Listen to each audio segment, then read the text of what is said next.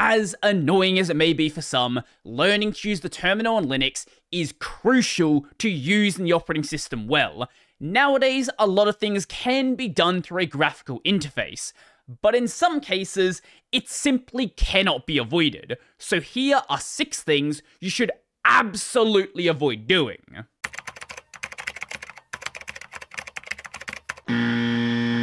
Most often, when you install an application on Linux, it'll be done through a package manager. On a Debian based system, that'll be apt. On Fedora, that'll be DNF. On Arch Linux, that'll be Pacman. Or maybe you're using another system like a Flatpak or a Snap. Now, sometimes you'll be downloading directly from a Git repo, and I don't mean cloning the repo, I mean using an install script. And some of them recommend taking the install script, downloading it through curl, and then piping it directly into a shell, like bash for example. This is done with zero validation, zero warnings. Whatever is downloaded from curl will instantly be run on your system. Now, obviously, there are cases where the maintainer of the project is malicious and the install script is intended to ruin your system. In those cases, the project itself was malicious and you shouldn't have downloaded it in the first place. But most of the time, the developer isn't malicious and the install script is completely safe. The issue is downloading over the internet isn't completely safe. What happens, for example, if your download cuts off in the middle of downloading the file, and maybe the last thing downloaded was something like rm-rf slash. Well, that is going to start trying to delete everything on your system. That was not the intention of the developer, but a failed download caused it. To make sure this doesn't happen, just download the file completely, check the file, and then run the file. This is especially true if the file needs sudo bash. Never, under any circumstances, do curl into sudo bash. If you're doing that, just uninstall Linux now because you're accidentally going to do so in the future anyway.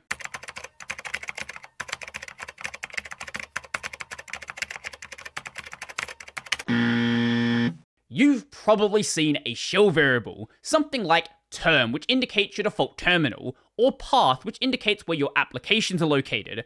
And just like in a programming language, shell variables are incredibly useful. When running a command that modifies data, though, be incredibly careful about using them. You are not in a programming language. A shell variable is a lot closer to a macro than an actual variable. There isn't any checking done. So if a variable isn't set, it's going to be set to nothing. As an example, I do not have the variable var set. This prints out an empty string. So what if it was something like var and then slash star? Well, we get slash star, no mention of the var. So what if I was using that in an rm command? So rm-rf and then what I wrote before. Well, that turns into slash star, which is going to cause a lot of damage. When you're writing a shell script, it can be tempting to blindly use variables, but just like in a regular programming language, make sure you validate them before you use them. This is not just for the rm command, but for any destructive command, make sure you validate your variables.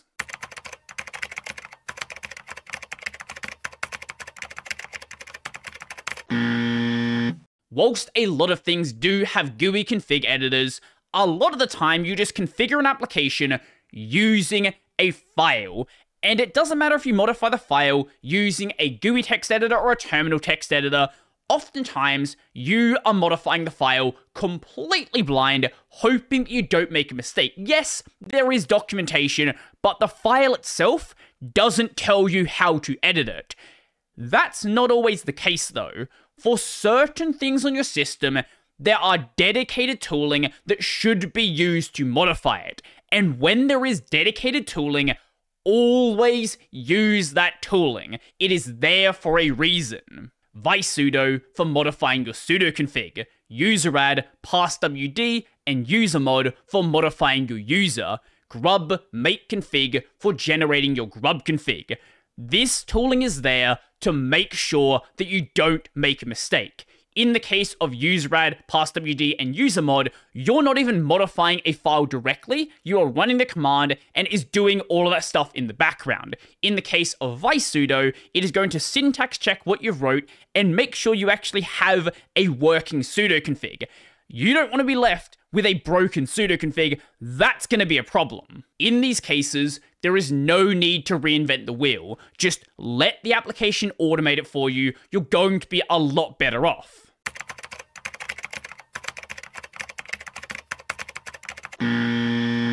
Just like with a programming language, when you're not sure how to do something in the terminal, it can be very tempting to go online and copy a pre-made solution. Oftentimes that solution is also going to be including pipes, and this is not inherently bad to do, but do pay attention to what you are copying. I highly recommend checking the manual for each of the commands you are running if you just have no idea what the command is.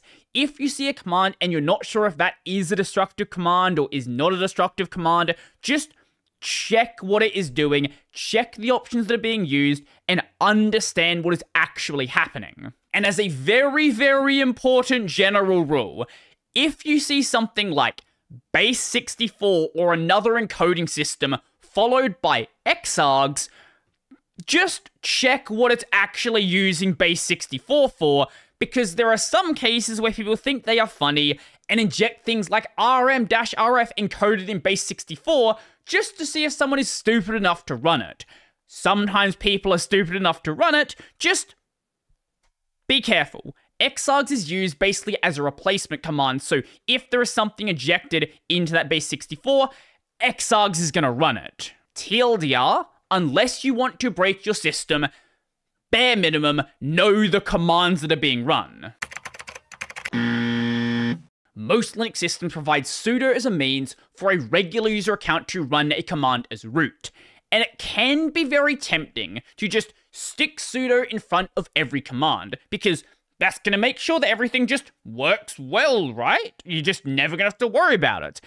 Well, this should be avoided, and sudo should only be used when it is absolutely necessary. There is this concept known as the principle of least privilege, where every action you take should be done with the least number of permissions needed to make that action happen. So in the case of LSing your home directory, you don't need root access to list the files in your home directory. But if you're doing something like modifying your grub config, then yes, using sudo is the correct action. It is better the command fails and needed sudo than a command running that shouldn't have run because you gave it sudo. It's a minor inconvenience that will absolutely save you down the line. There will come a point where you try to run a command and didn't realize the extent of what it can do, and because you didn't give it sudo, it didn't destroy your system.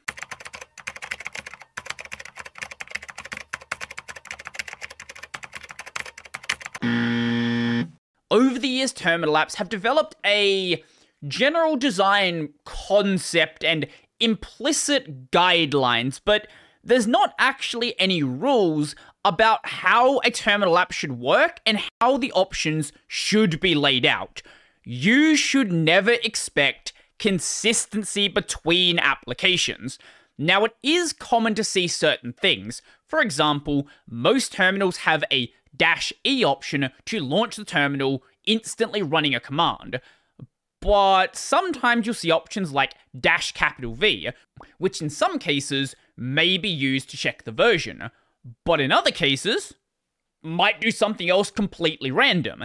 If you want to know what an option is doing in your specific application, read the man page, or in some cases, it has help documentation. That's not even consistent. We don't even have consistent ways of showing documentation. There are common ways, but don't expect everything to do it. Like with the earlier ones, this is especially true for destructive commands.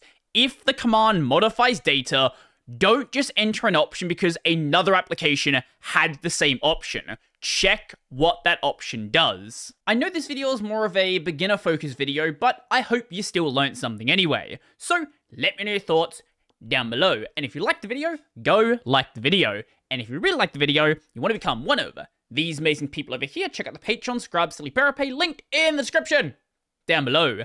That's going to be it for me, and don't run the next command.